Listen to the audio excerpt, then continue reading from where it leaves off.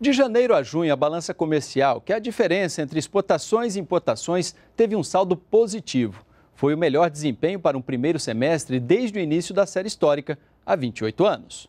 Um recorde para o período. O saldo positivo da balança comercial de 23 bilhões e 600 milhões de dólares entre janeiro e junho deste ano é o maior para o primeiro semestre desde o início da série histórica em 1989. O valor é cerca de 10 vezes maior do que o registrado no mesmo período do ano passado, quando o saldo positivo foi de 2 bilhões e 200 milhões de dólares. Em junho, o saldo comercial foi de quase 4 bilhões de dólares.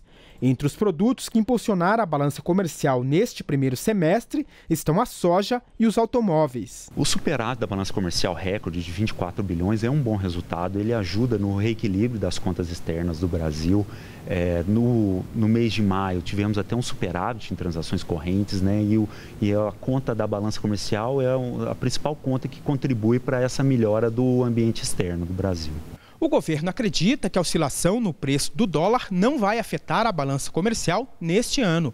Isso porque grande parte dos contratos com compradores estrangeiros já foram fechados. A estimativa do governo é que a balança comercial brasileira feche o ano com um superávit entre 45 e 50 bilhões de dólares. Nas importações, houve redução em todos os setores. No entanto, o feijão, que teve alta nos preços devido à pouca oferta, registrou aumento nas importações da Argentina. Foram 64 mil toneladas neste semestre, 117% a mais do que o registrado no mesmo período de 2015.